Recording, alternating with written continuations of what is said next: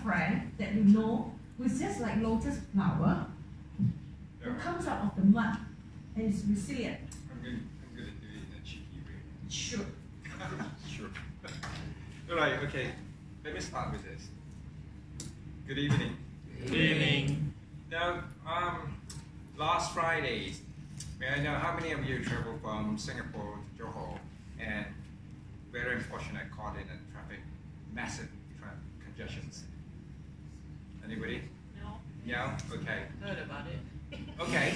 I was told, I was told someone caught in a massive traffic jam for six hours. Oh. And I told that they have no way to verify. Yeah? So, allow me to share with you my experience, my first two experience, literally caught in a traffic jam with a bunch of flowers. Wow. okay, first experience, right. I was literally holding a bunch of flowers, oh. well, water lily and roses.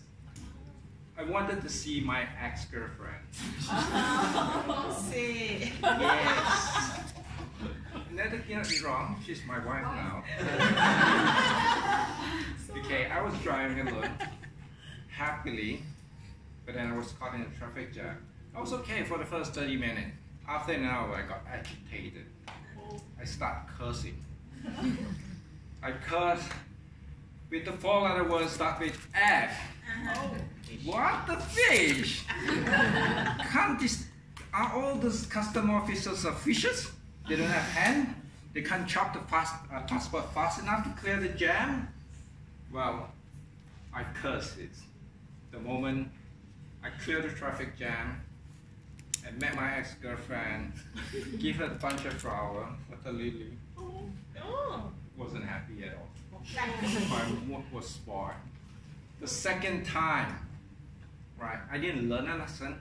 The second time, I was caught in a traffic jam again. And after an hour, I start cursing. I never learned the lessons. So this time, again, I curse the fishes. You know what?